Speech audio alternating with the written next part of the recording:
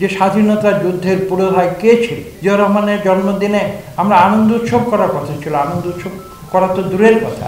আমরা বিশ্বাস করেছিলাম যে পাকিস্তানের অবকাঠামোর ভেতরে কোনোদিন গণতন্ত্র সম্ভব না এই সরকারকে প্রশ্ন করুন, কেন তারা বাংলাদেশ থেকে গণতন্ত্রকে হত্যা করে হটিয়ে দিয়ে আজকে কেন এদেশে একদলীয় বাকশালী শাসন কেন কায়েম করা হচ্ছে? কার Begum Para Gulshan two three, Gulshan three, second home, সবই তো পেয়েছে। এখানে পুরনো কথায় বারবার ফিরে যেতে হয়।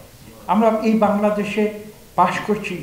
সেই বাংলাদেশের যে স্বাধীনতা যুদ্ধের পুরোধায় কে ছিল? আজকে জিয়া রহমানের জন্মদিনে আমরা আনন্দ উৎসব করার কথা ছিল। আনন্দ উৎসব করা তো দূরের কথা। আজকে আমরা বাংলাদেশের যে মূল নীতির যে অস্তিত্ব, সেই অস্তিত্ব আজকে প্রশ্নের সম্মুখীন। কোথায় সেই বাংলাদেশ যে বাংলাদেশ গণতন্ত্রের জন্য স্বাধীন? কোথায় সেই বাংলাদেশ যেখানে বাংলাদেশের সুবিধা বঞ্চিত মানুষের অর্থনীতির অধিকার নিশ্চিত করার জন্য যে বাংলাদেশ সৃষ্টি হয়েছিল, সে বাংলাদেশ আজকে কোথায়? আমরা বিশ্বাস করেছিলাম যে পাকিস্তানের অবকাঠামোর ভেতরে কোনোদিন গণতন্ত্র সম্ভব না কথা সঠিক প্রমাণিত হয়েছে। একাত্তরের পরে আজকে বাহান্ন বছর গিয়েছে। আজকে পাকিস্তানের অবস্থা আপনারা অবলোকন করুন। গণতন্ত্র হয় না কেন লক্ষ লক্ষ মানুষ মুক্তির যুদ্ধের বুকে জীবন দিয়েছে কেন?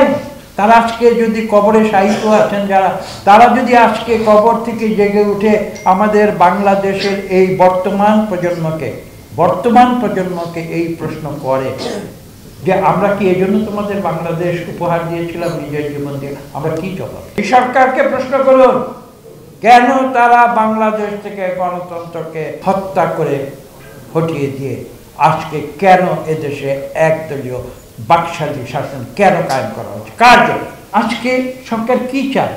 অর্থ, বিত্ত বৈভব সম্পদ, ক্ষমতা, রাজপ্রাসাদ, Begumpara, Gulshan two three Gulshan three second home সবই তো পেয়েছে। যখন ক্লাসের ছাত্ররা ভুল করে, তখন কিন্তু শিক্ষককে সেটা চোখে আঙুল দিয়ে দেখিয়ে দিতে হয় যে এটা ভুল হয়েছে। এতে করে ছাত্ররা যদি শিক্ষকের উপরে যদি রাগ করে, সেই রাগ কিন্তু শিক্ষককে মেনে নিতে হবে। কিন্তু নীতিতে শিক্ষককে অচল থাকতে হবে।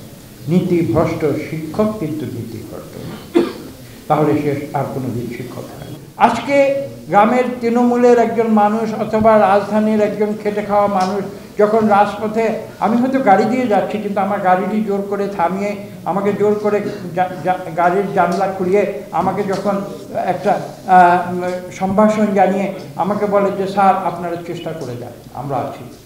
এর চেয়ে বড় পাওয়া তো রাজনীতিকের জীবন আমরা গতকাল একটি সম্পূর্ণ শান্তিপূর্ণ একটি কর্মসূচি ঘোষণা করেছি, যেটা সারা বিশ্বে একটি শান্তিপূর্ণ প্রতিবাদের ভাষা হিসেবে স্বীকৃত। সেই কর্মসূচিটি কি? আমরা রাস্তায় কালো পতাকা প্রদর্শন করব। এই সরকার অগণতান্ত্রিক সরকারকে প্রতিবাদের চিহ্ন।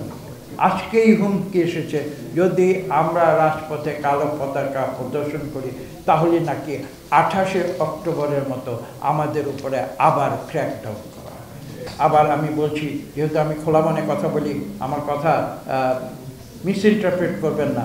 আমি এই সরকারের কাছে আবেদন জানাই, আপনারা সঠিক পথে ফিরে আসুন।